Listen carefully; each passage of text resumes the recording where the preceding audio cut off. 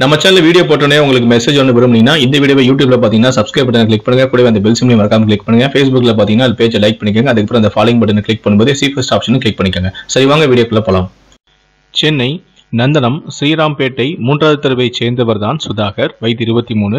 இவர் ஃபேஸ்புக்கில் வந்த விளம்பரத்தில் சுமார் ஐம்பத்தைந்தாயிரம் ரூபாய் மதிப்புள்ள ஒன் பிளஸ் என்ற செல்போனை ரூபாய் இருபத்தொன்பதாயிரத்துக்கு இருபத்தொன்பதாயிரத்தி ஐநூறு ரூபாய்க்கு விற்பனை செய்வதாக வந்த விளம்பரத்தை பார்த்து அதிலுள்ள செல்போன் எண்ணுக்கு தொடர்பு கொண்டு பேசியுள்ளார்.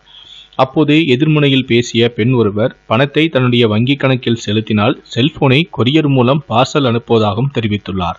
அதனை உண்மை என நம்பிய சுதாகர் ஃபோன்பே மூலமாக இருபத்தெட்டு ஒன்று இரண்டாயிரத்தி இருபத்தி ஒன்று அன்று பத்தொன்பதாயிரத்தி ஐநூறு ரூபாயும் மறுநாள் இருபத்தி ஒன்பது ஒன்று இரண்டாயிரத்தி இருபத்தொன்று அன்று பத்தாயிரம் ரூபாய் என இரு தவணையாக மொத்தம் இருபத்தி ஒன்பதாயிரத்தி ஐநூறு ரூபாயும் அனுப்பியுள்ளார்.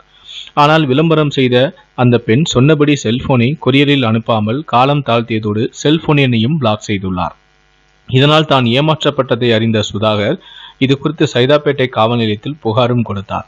அந்த புகாரை சைதாப்பேட்டை போலீசார் அடையாறு காவல் மாவ காவல் மாவட்ட சைபர் குற்றப்பிரிவுக்கு அனுப்பியதன் பேரில் குறைந்த விலைக்கு செல்போன் விற்பதாக வந்த விளம்பரத்தை அளித்து பொதுமக்களை ஏமாற்றிய குரோம்பேட்டையை சேர்ந்த அரவிந்த் வயது இருபத்தி மூணு மற்றும் பம்மலை சேர்ந்த அவனுடைய காதலியான நளினி வயது இருபத்தி ஒன்று ஆகிய இரண்டு நபர்களையும் கைது செய்து விசாரணை மேற்கொண்டதில் இருவரும் குற்றத்தையும் ஒப்புக்கொண்டனர்.